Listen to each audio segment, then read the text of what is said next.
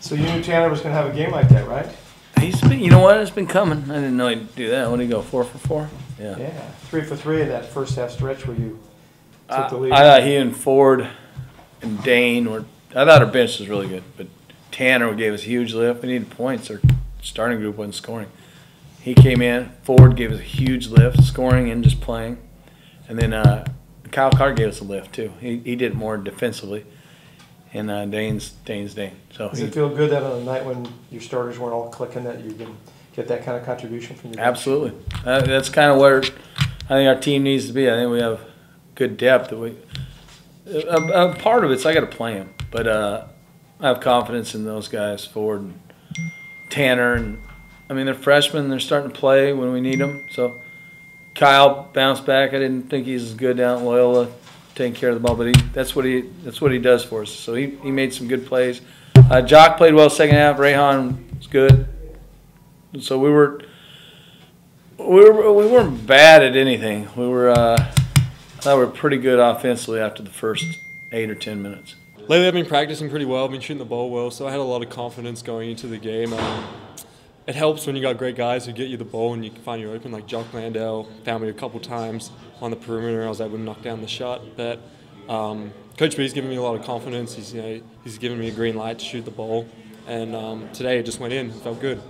Not really. I you know I come in, I play my hardest. Um, if my shot's open, um, I'm taking it. I feel good about myself. Um, tonight I got open a few times and I was able to knock down the shot, but um, you know I just play the game. I let the game come to me, and tonight it came to me, and I was able to take the most, make the most of it.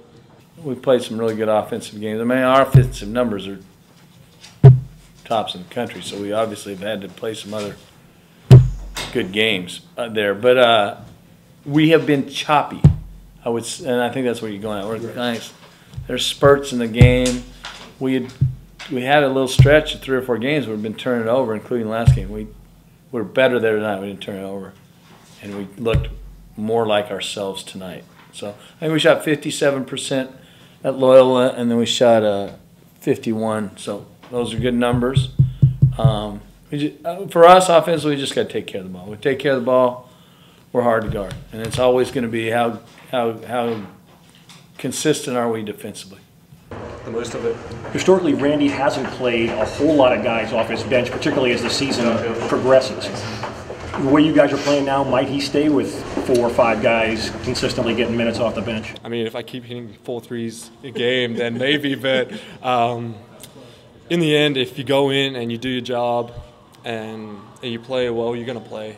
Um, so it doesn't. I don't think it matters um, a whole lot, but it's just really who's playing well, who's going to play, who's playing the best. I don't think we're anywhere near finished product.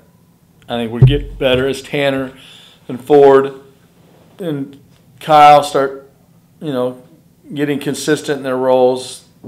It'll make us a more consistent team. So they're doing their part. We just our starters got to do their part when they start the game.